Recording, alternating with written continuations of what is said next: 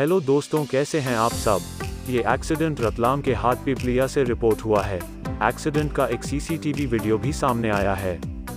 जिसमें एक over speeding करती हुई बोलेरो दो बाइकर्स को हिट करती है, फिर सामने से आ रहे एक ट्रॉले को हिट करती है।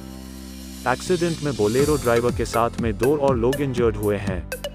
इन्हें डिस्ट्रिक्ट हॉस्पिटल में रिफर कर दिया गया।